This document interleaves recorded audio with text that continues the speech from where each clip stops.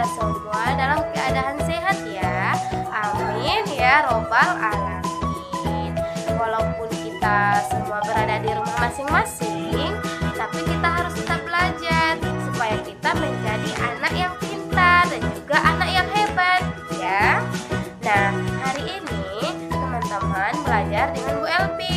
Nah, uh, pembelajaran kita hari ini bertemakan dengan tanah. Sebelum belajar, Ibu Elpi mau memperkenalkan alat-alat atau peralatan yang akan kita gunakan nanti ya. Nah, pertama kita nanti akan menggunakan buku yang bertemakan tanah airku ini. Teman-teman udah ada semua ya. Kemudian yang kedua, kita nanti akan menggunakan lem kertas. Tapi bagi teman-teman yang adanya lem fox juga tidak apa-apa, tidak masalah ya. Ada gunting, kemudian ada uh, ini apa ya? Ini lidi tusuk sate. Teman-teman udah ada semua? Nah, kemudian yang kedua, nanti kita menggunakan origami dan juga kita gunakan uh, pegaris ya kemudian ada HPS nanti kita menggunakan HPS setelah itu terakhir kita nanti menggunakan krayon. Nah jadi sebelum kita mulai baby mau teman-teman mengulang selawatnya dulu supaya teman-teman tidak lupa supaya teman-teman bisa baca selawatnya tiap hari. Nah ya kita coba ya. Diulang sama-sama ya ikuti Belbi ya. Ayo kita mulai. Solawat badar Solatullah Salamullah. Ala Toha Rasulillah. Salatullah Salamullah. Ala Yasin Habibillah. Salatullah Salamullah Ala Toha Rasulillah Salatullah Salamullah Ala Yasin Habibillah. Hasbi Rabbi lagi. Tiga, dua, satu. Hasbi Rabbi Jalallah ma fi qalbi Ghairullah Nur Muhammad Salallah La ilaha illallah Hasbi Rabbi. Jalallah qalbi Ghairullah. Nur Muhammad Sallallahu la ilaha illallah Hasbi Rabbi Jalallah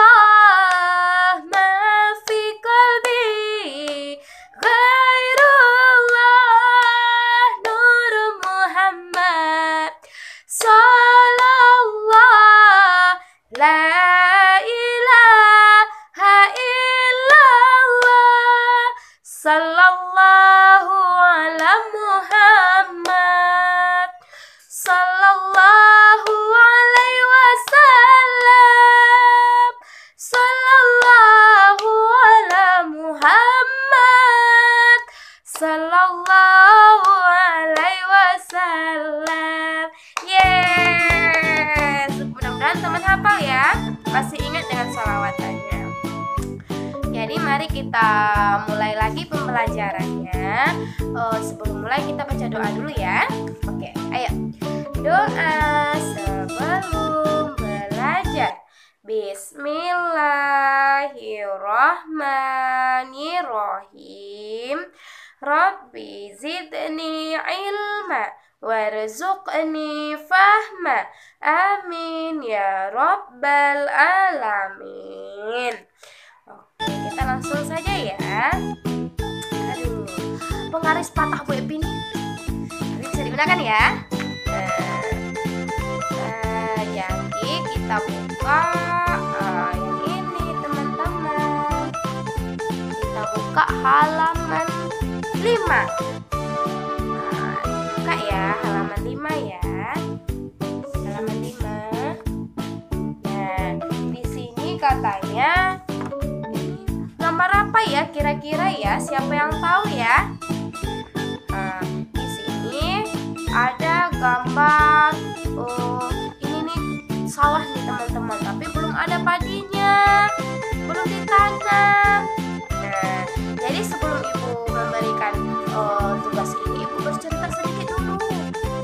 nah kita kan orang Indonesia nih teman-teman tahu kan kita orang Indonesia. Jadi Indonesia itu kaya teman-teman. Kita harus cinta dengan tanah air kita. Kenapa? Yang pertama Indonesia itu kaya. Nah yang kedua orang-orang di Indonesia itu hebat-hebat. Termasuk teman-teman semua buktinya sekarang uh, orang libur teman-teman tetap belajar tetap tetap rajin belajarnya ya kan? Nah kekayaan di Indonesia itu apa saja sih bu ah siapa yang tahu? Nah kekayaan di Indonesia itu banyak teman-teman. Ada yang ke kekayaannya minyak. Nah di Indonesia itu banyak minyak teman-teman minyak bumi. Kemudian ada uh, emas. Nah ya kan? Ada emas setelah itu ada batu bara. Kemudian ada timah ada yang menghasilkan migas. Semuanya ada di Indonesia. Terus di tempat kita adanya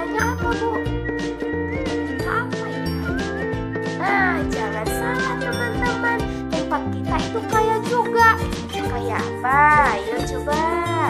Nah tempat kita itu kaya rempah-rempah. Semuanya ada di tempat kita. Rempah-rempah itu apa bu Epi hmm, rempah-rempah itu kayak oh, bumbu masak kita bumbu masak mama kita masak. Semuanya ada di tempat kita. Tidak usah kita beli ke luar negeri. Tidak usah kita oh beli ke sana kemari cukup ke pasar pagi atau di belakang rumah. Ya ada misalnya kunyit ada lengkuas ada apa lagi? Jahe. Pokoknya semuanya ada di uh, tempat kita. Nah uh, kita lanjutkan. Nanti ini gambar ini uh, di sini ada kotak-kotak. Ini adalah kotak-kotak tempat orang nanam padi piringan sawah ini namanya yang ini akan sawah kalau sawah-sawah di kita kan uh, dia ada yang rendah ada yang lebih tinggi gitu ya. Kalau tempat kita jarang sih kayak gini tapi teman-teman uh, harus tahu juga ini masih sawah ya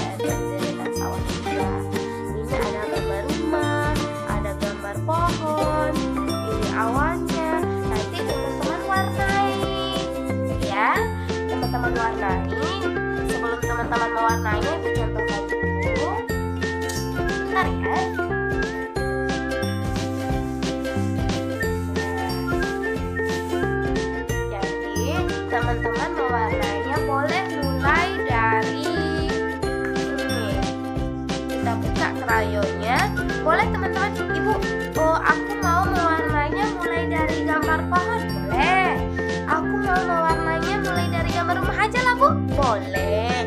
Uh, atau mau dari langitnya. Yang warna biru juga boleh. Tapi sekarang kita coba warna ini warna apa ya? Hijau tentunya. Hijau ini buat apa ibu?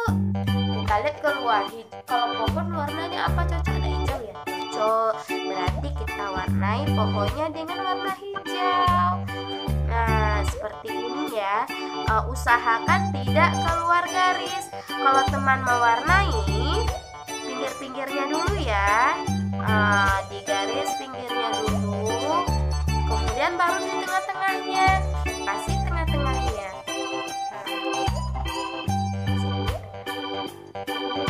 Ya nah ini teman-teman warnai sampai selesai. Seperti yang Baby punya. Dia awalnya warna putih langitnya berwarna biru uh, ya dah ini diselesaikan Dan dengan pembelajaran yang kedua, di sini kita katanya ada syair. Jadi teman-teman harus mengikuti. Nah, ikuti ya. Katanya gini. Merah putih. Ikuti ya. Merah putih benderaku. Merah berani. Putih suci. Berkibarlah di angkasa merah putih kebanggaanku, bendera bangsaku. Jadi teman-teman udah bisa paham ya merah putih itu warna bendera kita. Jadi sebelum kita lanjut, Ibu Epi punya tepuk bendera. Bu Epi sekarang lagi kurang enak badan, jadi suaranya hmm, jelek. Tapi nggak apa-apa ya. Nah, Bu Epi punya tepuk nih. Ikuti ya belajar ya di rumah ya. Uh, kalau ada yang lupa tanya sama mamanya. Mamanya juga pintar. Uh, ya. Gini uh, apa tadi? Tepuk bendera. Di atas merah artinya berani di bawah putih artinya suci merah putih benderaku Indonesia ya bisa ya? Diulang ya. Uh, coba diulang sekali lagi. Tepuk bendera. Di atas merah artinya berani. Di bawah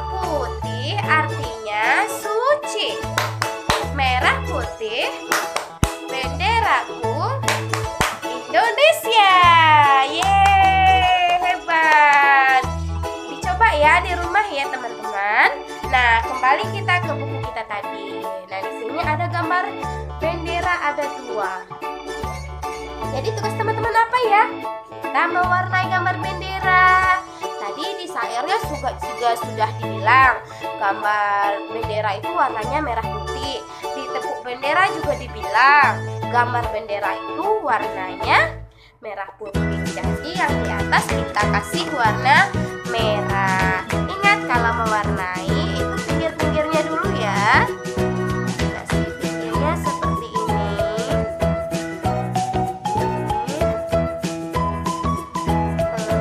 rapi tidak ada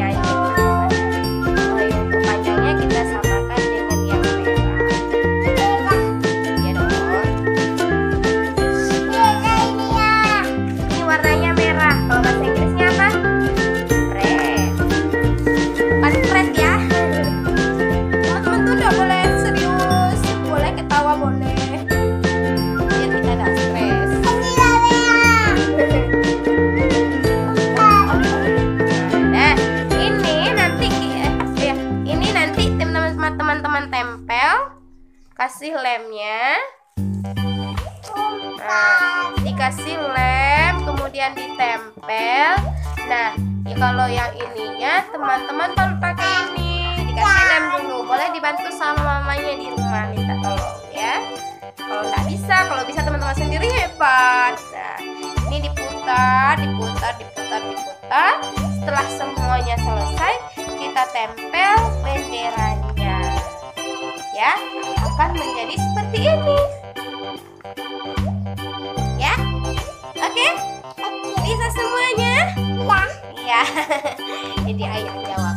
Oke teman-teman untuk hari ini terima kasih. Mudah-mudahan kita semua bisa mengikuti pembelajarannya dengan baik sampai selesai. Oh, mohon maaf kalau ibu ada salah. Bisa dimaafkan ya. Maaf ibu ya. Jadi uh, walaupun uh, suara ibu rasanya ngek-ngek uh, ibu sangat bersyukur bisa bertemu dengan teman-teman. Nanti ibu-ibu ibu mau tengok hasil karya teman-teman ya mudah-mudahan kita semua dilindungi oleh Allah dan kita ucapkan alhamdulillah karena kita sudah selesai belajar. Ibu tutup assalamualaikum warahmatullahi wabarakatuh. Selamat mencoba. Bye bye